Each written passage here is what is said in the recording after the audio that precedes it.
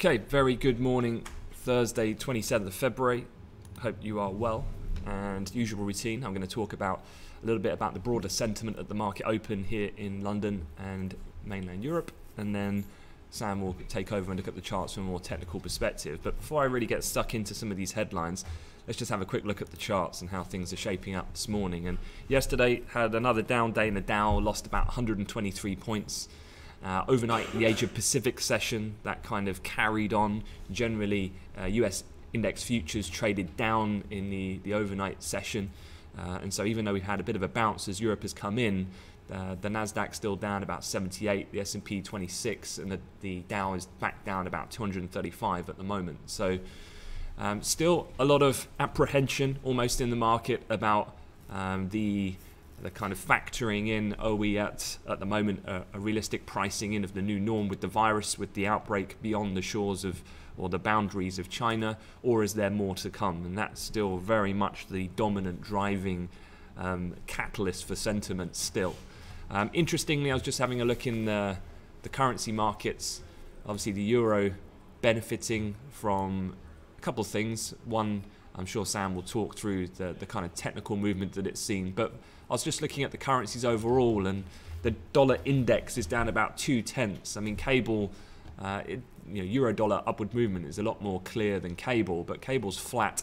Euro's outperforming a little bit up 33, but you know, one of the things with the Dixie I was thinking is that if you actually look at the dollar index, it was kind of getting right up to that 100 level. Remember, about two weeks period ago just gone, we've had some really awesome US data. The dollar rallied really aggressively. We've got up to that kind of around that 100 spot and we've just started to see it fade. And now, actually, with what's happened with more concerns, not just in the US but in Europe and globally about the potential spreading of the virus, market in the rates area have started to bring forward much more aggressively the idea of the Fed are going to have to cut rates. And markets are actually pricing in now two Fed rate cuts by the end of the year.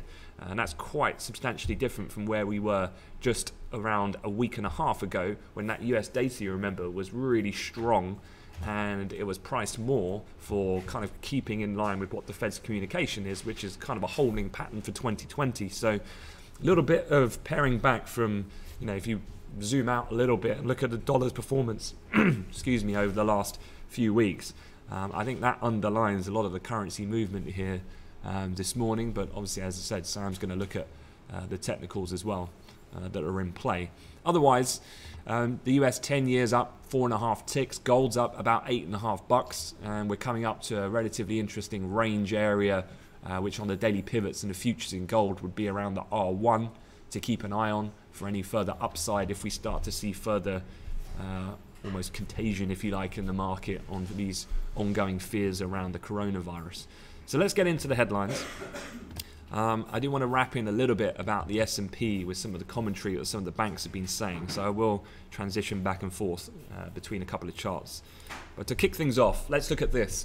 US identifies the first coronavirus case without outbreak ties. Now, I thought this was particularly interesting when I was reading this on my way into work this morning. So basically, this is this is a person being treated in California. Uh, U.S. Centers for Disease Control, so the CDC, uh, they've said the patient doesn't appear to have traveled to China or been exposed to another known case of coronavirus. Uh, this is what's being coined as a phrase as community spread, they're calling it, where the virus begins circulating freely among people outside of quarantines or known contacts with other patients. And if you think about it, if the market, you know, there were three things we were looking at. If you remember that that piece that I, I, I published on Sunday and we talked about in the briefing Monday morning, three points. There was the spread outside of China, there was the material impact on the numbers on the supply chain, and then the third point was fear. And fear is such a, a key one of what we've seen really add the momentum or the fuel to the fire of the moves that we've had. And this type of headline, I think, could be perceived as quite worrying looking at it that way, because this is talking about a virus circulating freely among people outside of the quarantine areas that have not been to China or been exposed to any other known virus of coronavirus. So, yeah, that's almost like the perfect storm in my mind, where then you could see some real pickup in these numbers if that does indeed turn out to be uh, the case. So definitely, I think this was quite interesting. And you know, again, this is just one individual, but that's not the point. We're in a different realm now, where it's not about the one time. It's about us pricing in then the future compounding growth, where it just becomes exponential, and and all of a sudden then people are already fearing the worst, and then that gets played out in the markets in the, the daily price action. A um, few other things here just to show you that I thought were a bit more graphically um, pleasing on the eye to understand what it is that's going on. Uh, this is the number of new cases in the last week. So this starts to look a little bit more between cases in China in blue on the bar and cases outside of China. So as you can see, there's been a steady incline, almost like a, uh, a perfect inverse correlation here between cases in China have been decreasing cases outside of China have been picking up. But a lot of this is to do with the, the kind of time, as we know, with the incubation period, and with China having been the origin, uh, the, the origin, if you like, geographically. That started, what, it's talking about four weeks ago now when it originally kicked off. And so that's kind of almost seen peak virus and is now tailing off, and hence the reason why reports are that they're returning back gradually towards some normality. Whereas in Europe, it's kind of it's just starting uh, in this essence. So, you know, the question mark is, well, where does this red bar start to top out? I guess is the is the question. But you can see you've actually tipped the balance, and actually, I know this chart is really rough in terms of the quality, but hopefully I can explain it. And what you're looking at here is you're looking at the beginning of the cases being reported. So this was going back to January 21st down here on the left. Now the blue bars are China, the red bars are the daily cases of new confirmed cases. So this this graphic is wildly misrepresented because actually in China you're looking at thousands here, whereas cases outside of China you're looking at hundreds. So I think to map one over the other is a bit misleading. But the point is again, it's the shape of which the red bars are increasing that's important. So instead of like for like comparison, look at the direction. And so this is what markets have been pricing this this this ability. And talking to Alex about this this morning, you know, one thing I think is if you look at something like China, you're looking at a, you know a communist party rule where you know when the state want to get something done, well they they definitely go about their business in a uh, in a very um, let's say they're very tight on their implementation of their rules in that sense, and so containing one country under one policy is probably, you would imagine, more easier than trying to do cross border cooperation of different countries when you start talking about an euro area, for example, where you've got multiple countries all looking to then operate independently but in cooperation with one another. You've got to think that there's going to be many more opportunities for um, you know, issues to occur in, in, that sense, in terms of slipping through the cracks and then the ability for the virus to spread. So definitely, I think that's why the markets have been trading like they are. And you know, another thing that was interesting this morning was, well, what are the big banks thinking now about where do we go from here? You know, there's a lot of obviously buying the dip mentality that has has yielded some fantastic returns over the last few years and you know whenever we get a big pullback like this there's always that temptation to think, wow, I just want to get in. Uh, and this could be a perfect opportunity to ride it all the way back up again. And let me just transition my screen here to the S&P uh, 500, and I'm going to talk you through Citigroup and Goldman Sachs and what their analysts and strategists have been saying um, overnight in their latest research report. So this is the S&P 500 on a daily continuation chart, and I've marked it up so you can see the corona spread outside of China this is that big move that we've had this week. Now there is a couple of nice long-term technical levels here. You've got that uh, the trend line that's been in play multiple times, and actually, if you look where we are at the moment, although we've kind of had a brief momentary glimpse beneath that level, pretty much to touch bang on the 200 DMA, we have bounced back and we're sat right back on that trend line again at the moment. So I think today and tomorrow's session still is pretty key here as to ascertain do we have another quite substantial move to the downside. Uh, and so where we close here on these daily candles is probably going to be very important.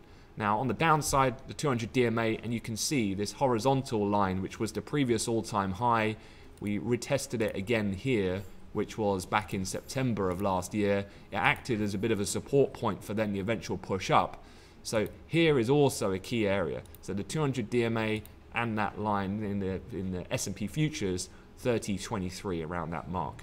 Now what are Citi saying? Well, Citi are going one step further they're saying a lack of clarity on both the virus outbreak, which, yep, I absolutely agree. It's a super difficult thing to try and quantify. And I think anyone who starts putting out there a specific date of peak virus or how what the end game numbers will be, I think it's a little bit pie in the sky trying to trying to do that. So I agree with that point. The second point they make, and which is quite interesting because I think it's valid, is they say Fed monetary policy. Now, we had Fed's Clarida, who's the vice chair, speak uh, just the other day, and you'll remember what Fed's Clarida was saying was it's too really early to make any judgments about the best course of action to make from a policy point of view.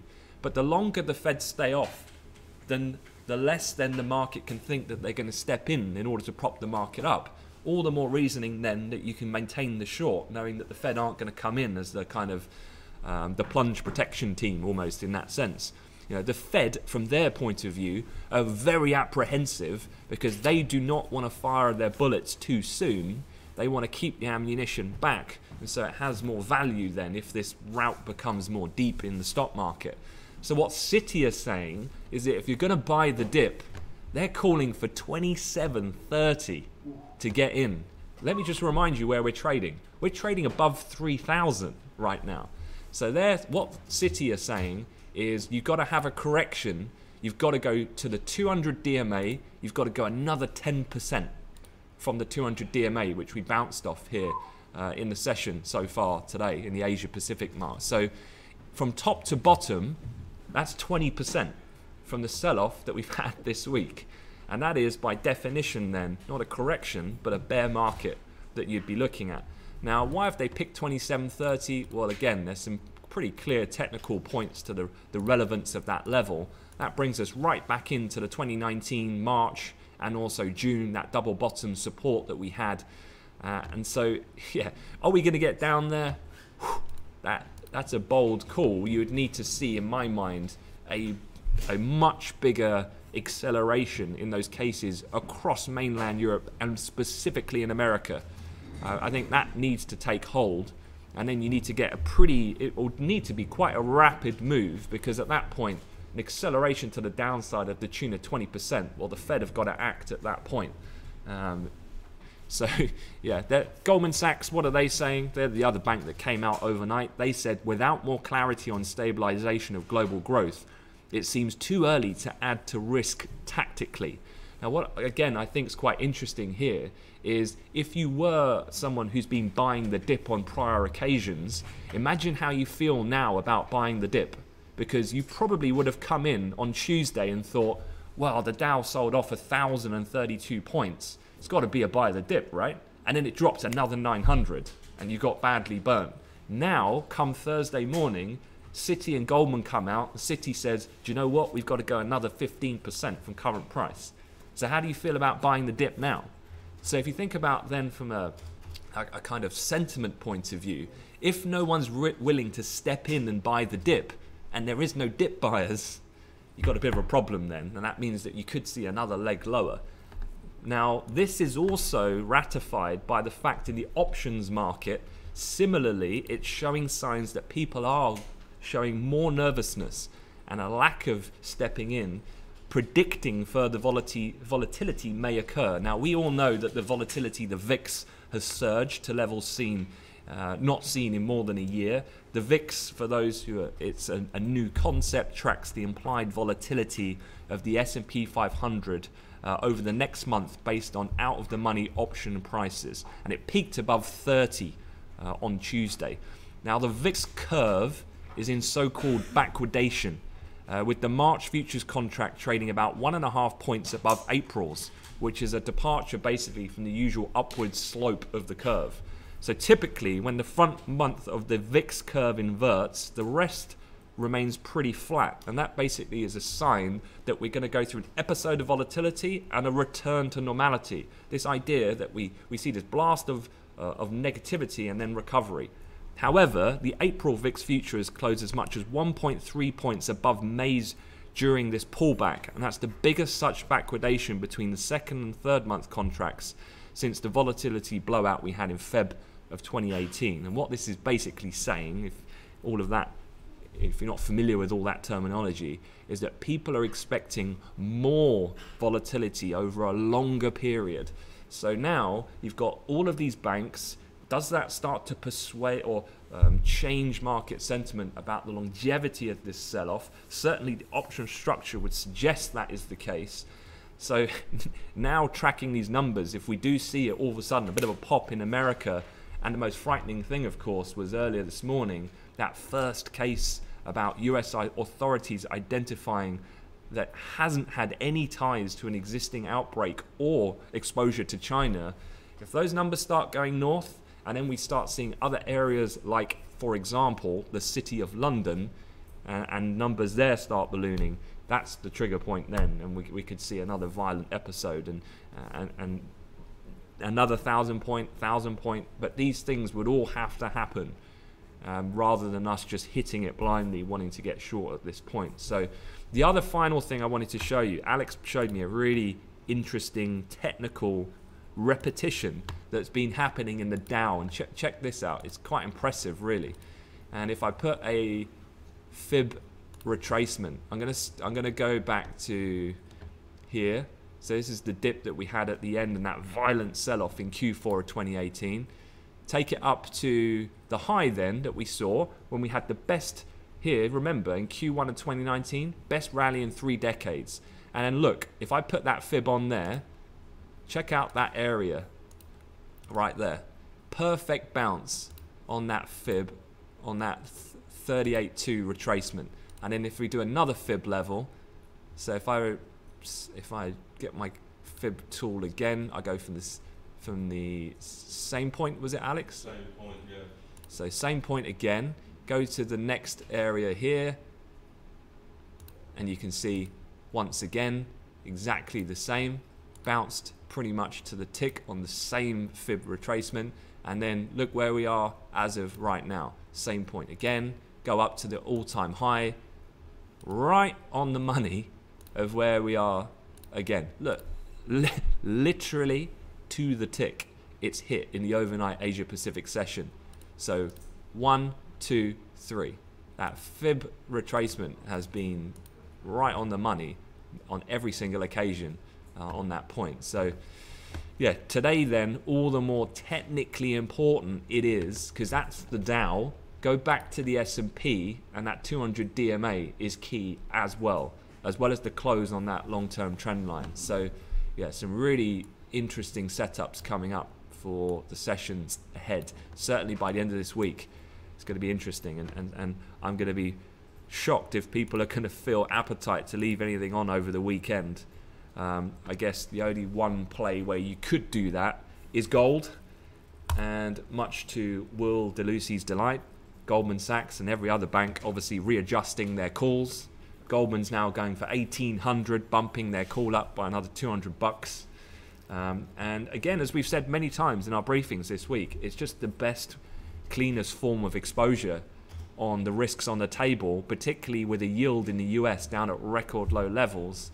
Uh, I just think all the more so it makes gold a more attractive short-term uh, investment. It's not enjoying this week, though. um, yeah, Will's just saying it's not enjoying this week so far, and you know, perhaps a, a byproduct of just how uh, aggressively it rallied in the week before when it had that kind of meteoric rise through $1,600. A little bit, um, what I could say to Will to make him feel a little bit better, I think it's a healthy correction there in order for another push up. Um, is kind of my kind of view with gold. I still remain bullish gold, and I think now we've got our heads above 1600. I think it remains there for the time being until this outbreak outside China the virus starts to stabilize at least. Um, final couple of things to, to, to cover um, from the China's point of view. China's central bank continues to ensure ample liquidity through targeted reserve requirement rate cuts. You would absolutely expect this to be the case. This is not new. This is just them committing to installing stability to the system. Donald Trump looking to defuse coronavirus threat and boost markets. Why is the market falling? It's the Democrats, of course. It's nothing to do with the virus. But you know, this is not going to move the market. This is just Trump. You know, this is kind of um, again a, a strategy to try and restore some sort of calmness to consumers and markets and that the US are adequately equipped to counteract that quite surprised headline we were talking about yesterday from the CDC about it's not about when, um, or it's not about if, but when the coronavirus eventually does start to, uh, the numbers accumulate in the US. Finally, not going to talk about this much because it's much more down the pecking order of things. The virus definitely more dominant. But today, the British government uh, handing over their initial uh, mandate in regards to then kick off negotiation with, with Europe. And the point being is they're on an absolute collision course at the moment over trade. Couldn't be further apart, but this is absolutely as we would expect at this point of the timeline given the uh, transition period of Brexit so far. All right, Sam's going to head over while he does a quick look at the calendar for today. Now, this morning, not too much going on. This little cluster of European data is not going to be market moving, although it looks quite interesting. It uh, it never really is. Uh, so then that takes us into the US session. You do have the second estimate of Q4 US GDP, got durable goods from the States, core PCE prices, weekly jobless claims, pending sales, or pending home sales. Quite a few things coming out. Um, there is also quite a few speakers uh, you do have Christine Lagarde speaking at a finance event. Text will be released. That'll be at 9:45 London time this morning. Uh, you've also got uh, well a whole cluster of ECB speakers, in fact. So make sure you have that calendar to hand. Um, and then you've got a seven-year note auction coming out of the states later on, uh, with also some Italian supply this morning. Uh, so that's it from me. Uh, any questions on the video when we publish this on YouTube, particularly on the VIX and the kind of um, what we're talking about with backwardation for example. Uh, absolutely can explain more about that. Just leave a comment if you'd like me to, no problem at all, or anything uh, on the, uh, the, the things that I've covered. Okay, guys, hand you over to Sam. I'll speak to you later on. Thanks.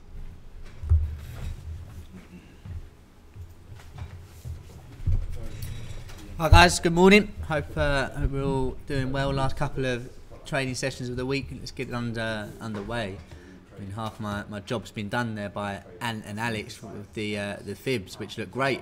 I have to say on the uh, on the Dow there, uh, got to have them on for sure. It's, it's it's been such good reactions to those points. I mean, I guess you would argue at each of those levels we weren't uh, in a situation anywhere near as bad as this, and I think.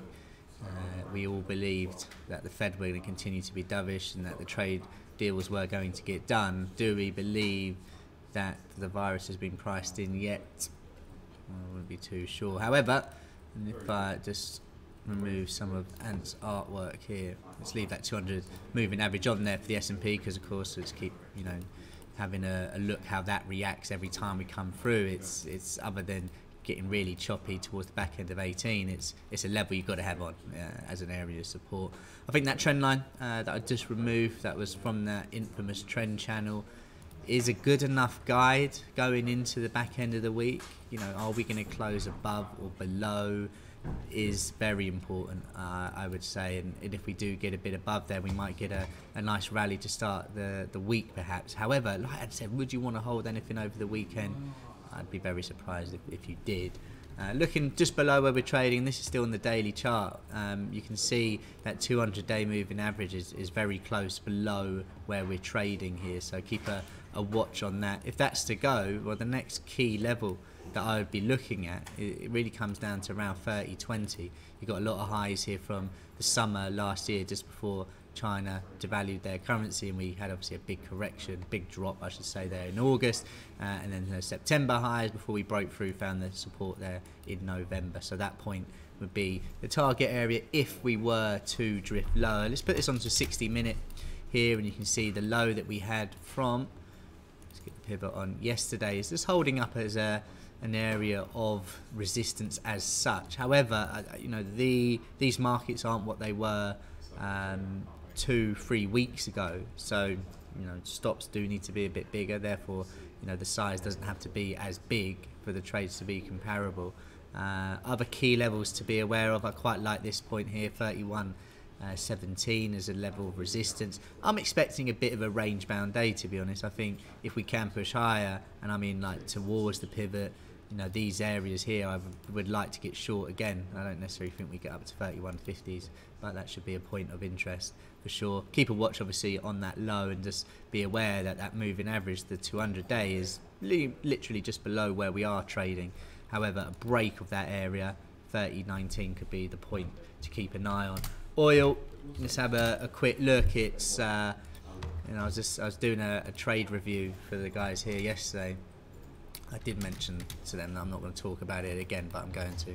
Uh, where I had a, a short uh, overnight yesterday uh, placed. I don't really like trading overnight uh, without monitoring it, but a short on the retest of what would have been two days ago's low, it, it didn't fill me uh, because of the spread on um, the the platform that I was using, and it came all the way down which uh, obviously I'm not bitter about. But let's get that weekly trend line on here for oil uh, because we're near some very key levels and we have broken uh, at the moment, or we're looking like we're going to break on that week as well. Let's get it from that low 2016, uh, that double bottom, the infamous double bottom around, what was it, 26s? Yeah. Uh, break of the low the year, break of that trend line. Uh, as that came in. We're now trading, if I just draw this on, I'd say the next point of interest towards 47 bucks. So we're trading what 48 at the moment. How close is that now? You can see it's about a dollar below. So I'd be keeping a very close watch on that. If I put this onto the daily chart uh, and just make this a bit bigger, you've got some other support just where we have hit that low. So this is the importance of that longer time frame. You know, if you don't have the daily chart on, you can't see that the low that we just had was actually the second of January last year's high. Uh, below there, really, I would favour 47 bucks to, to get traded. And likewise with with um, with the S&P in, in terms of trend lines, them be the guide. If you are looking to you know, be the hero and catch a, a, falling knife. Why not just be late to the party and get in above these these levels? I think 50-50 yesterday was was somewhere I, I marked up as a, a, pretty key point for for a guide, and we couldn't get above there. We drifted lower uh, and now we're stuck within these this new range. So for me, the three areas of interest: one, two, three. Uh, and obviously, if you want to make 50-50 up there, you can. Those would be the areas where I'll be potentially looking to trade. Take it more intraday, then fine. You've got really this call it a zone around 48 30, 20, that kind of point, those lows break through, retest. That could be a nice little area to, to have marks up there as well. Euro, moving over to the currencies, we'll have a look at gold, getting short squeeze, pushing on. Uh, could identify you know these previous levels here as a place to have got into the trade and, and to be honest on paper it looks fantastic but the dollar is weak here and the euro which has been on such a, a big push lower uh, has recovered here. Um, I just think a, lot of these shorts just getting squeezed here. Uh, I would identify all these other lows as potential areas to get in. Uh, but the way this euro is going, it seems like 109.88 on the futures could be uh, well achieved today by the looks of that. So if we are going off that, you know, the you got that key level just marked up there around 109.39 on the futures. Keep a watch should we come back down to that. But look at this, the euro is really having decent pushes, consolidating for a bit and then going again. Um, so yeah, I mean that next level up here, you'd, you'd say is a, a, good enough place for people to take profit. We're a long way from the, the trend channels of this uh, this move lower. I'm still kicking myself really not getting in on New Year's Eve. Uh, for for the short for the euro, which was you know the top of that trend channel as we came back down. So that's a fair whack away. Um, but if we could perhaps get up towards 110, 21, uh, it could be enough. Could be interesting enough, I guess, for a, a more medium-term short to attack those lows of the year should the dollar start to strengthen again. As Ant mentioned, the pound previously was uh, was was flat, but this euro strength that's just pushed on in the last well time we've been doing the briefing has, has helped the, the pound here go as well, and we're now above that high of the day keep a watch really just uh, seven ticks or so above. You've got that high resistance area, which you can see is fairly well respected. So 29.57 there for for the pound. I think it's worth having marks up on the chart uh, as well. Coming back down to that pivot, I mean, it's potentially worth a little trade. I would say you can see here. Um, previous high, come back, good area of support, risk rewards not too bad uh, on that. Quick look over at gold just to, to wrap it before we have a look at the DAX. You can see it's, it's, it's, it has been tricky. I mean, yesterday's low um, held fantastically well, but it was coming down quick at that time. Uh, we're now pushing on, and I, I, said this yes this time yesterday about that.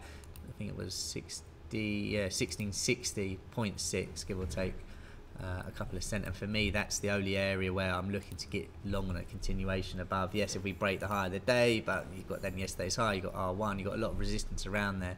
So for me, if, if 1660 goes and it's the right you know conditions in the market, for me, I like it up towards um, 1672. Uh, but for now, it's choppy, isn't it? There's, you know, it's it's unpredictable which which way this market's going to go intraday. Just when you think it's going lower, it, it holds up. It's, it's range bound, should we say, over the last two and this morning's trading sessions. Uh, I would say. Let's have a quick look over at that DAX. Um, okay, it, it's down in the last 15, 30 minutes. Uh, this market, put this on the day, has, has been under some serious pressure. It really has, and I think you know, I was watching because I, you know, I played football last night and, and got back and you know, I never, can never sleep after playing sport. And I was watching Trump's speech at 11:30, um, and the markets just just weren't interested. They weren't interested, and he he was just rambling on. He was rambling on. I think he was taking great pride in in being number one on the list of countries that can deal with it. You know, showing the piece of paper to everyone, not really saying how they're going to deal with it if there isn't even a problem. Um, but the, the markets were sort of turned uh, around. All under, are already under a bit of pressure after German health minister comments yesterday. Uh, they haven't recovered since that. But you know, looking at this DAX here, you've got these.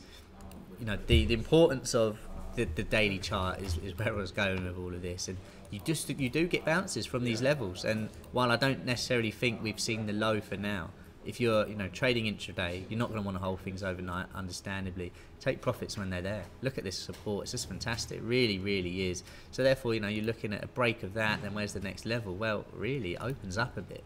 It really could open up a bit, and that's equities as a whole. If we do get down to these lows again and, and get the push through, um, well, there could be some uh, some further moves, but not necessarily expecting that today for for the DAX, you can see the importance of that low from two days ago. It's acted again as the high today.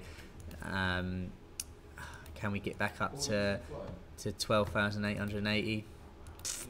Not too sure. I did have some shorts waiting there yesterday. Didn't quite get filled frustratingly. But for now, I'm expecting similar morning to yesterday perhaps just drifting higher, but getting an opportunity then later on in the session for a decent short is the way I'd be looking to play this.